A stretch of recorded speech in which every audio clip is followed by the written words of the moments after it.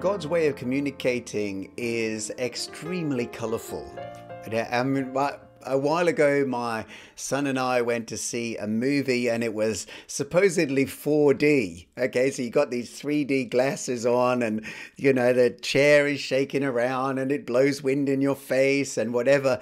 You know, all of these kind of virtual immersion realities that the world is kind of putting out there now. And, and as technologically impressive as they may be, um, you know, it's that there is a far greater, more exciting realm that is not virtual. It's it's more real than the nose on your face or anything that you can see, hear, touch, feel, taste here on the earth.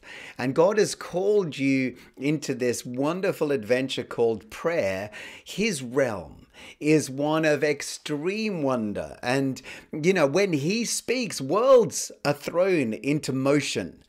You know, this is the same God who spoke, and the earth and all that is, is in it was flung into existence. Yeah, this is the God that you've been called to close fellowship with and to participate with in the place of prayer.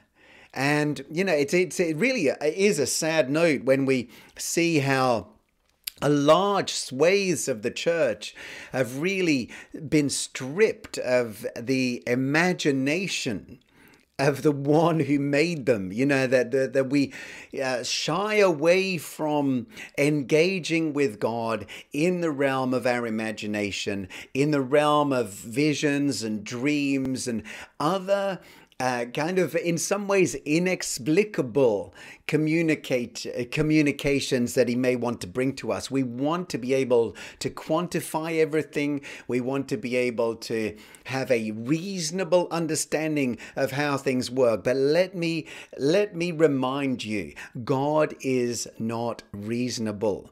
He is a God of the impossible. He is a spirit. He is not, he will not fit into your mold. And the, the scriptures teach us that we were made in his image, not the other way round. And how sad it is that for so many, all they have seen of Christianity is a God made over in the image of man. That is not the God that the Bible speaks about. And so God still shows up and still shows off in ways that are quite magnificent and very, very exciting and very interesting and very immersive and that engage us in our entire being. It's not just this kind of uh, gravelly, grey, world that sometimes religion can appear as.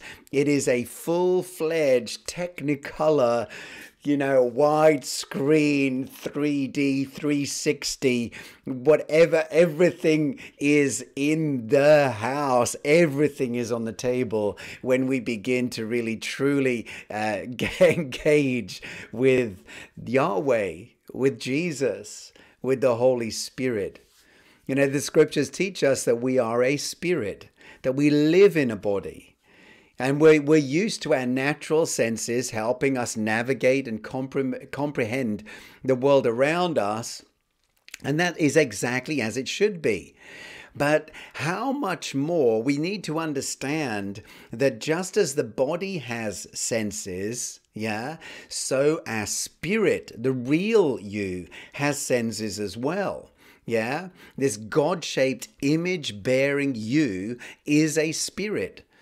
And, you know, really, uh, whereas we are an integrated being, okay, and, and in some ways to splice things up, to like lay ourselves out on the biology table and start cutting things open, trying to understand some some of this. There's nothing wrong with that, but we need to be careful that we don't try and kind of take a this inexplicable realm this third heaven reality and try and explain it in first heaven terms. You know, like seriously, it's just the language is not there to do so. But if we were if we were pushed in to, to say, I would say that I am a spirit. I have a soul, a mind, will, and emotions, and I live in a body, uh, like a temporary earth suit that allows me to operate in this natural realm. You know, so who you are really essentially is not a body, you are a spirit. Your spirit has senses just like the natural man. And we could go into numerous different scriptures, but you know, this, the Bible, for example, tells us that we can taste and see that the Lord is good. We can taste, we can see, we can hear his voice. You know, there are things that we can touch in the spirit world and things that touch us. And in that, visions and dreams are absolutely normal. That they are like expected and ordinary colors in the supernatural palette of communication that God uses when he wants to speak to us. Now, of course, they're spiritually discerned but they're no less real than the senses of our natural man. In fact, if we if we boil it down, they're more real. The original substance from which all that we see was made was first spirit, was first in the spirit realm. The spirit realm is the prime realm, it came first, and all of this natural realm proceeded from it. And so, prayer, I think, is the place of spiritual activation. It's the playground of these spiritual senses, and in the arena of activity of uh, uh in the realm of the spirit, when we engage in spirit led prayer, it awakens our senses to that realm and in that realm. I love what Paul prays in Ephesians chapter 1, verses 17 to 18. These are just such powerful prayers that, that are recorded that we can take to ourselves. He prayed that God would grant you a spirit of wisdom and revelation, of insight into the mysteries and secrets in the deep and intimate knowledge of God by having the eyes of your heart. Again, we see here that our spirit man has eyes, can see in, in, the, in the realm that he is resident in, which is the spirit realm that the eyes of your heart would be flooded with light so you can know and understand the hope to which he has called you and how rich is his glorious inheritance in the saints, his set apart ones we enter into a revelation of insight into the mysteries and the secrets of God and the deep and intimate knowledge of Him by having the eyes of our heart, our spirit man, flooded with supernatural light. Visionary prayer and working with images and pictures and your imagination in prayer is so much a part of this rich delight of knowing God that really we should all be picking up this prayer of Paul and making it our request that God would open the eyes of our understanding. And while we're at it, let's ask Him to activate every sense of our spirit man. And I'm sure that there are more than five.